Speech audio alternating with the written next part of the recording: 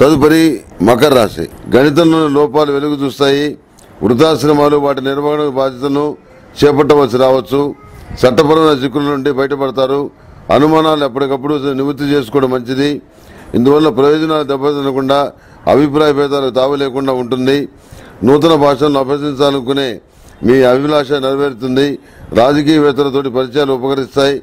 చర్చలు ఫలప్రదంగా సాగుతాయి.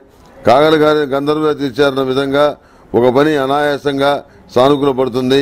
ప్రతిరోజు ప్రతినిత్యం సర్పదోష నివారణ చూడంతో స్నానం ఆచరించండి.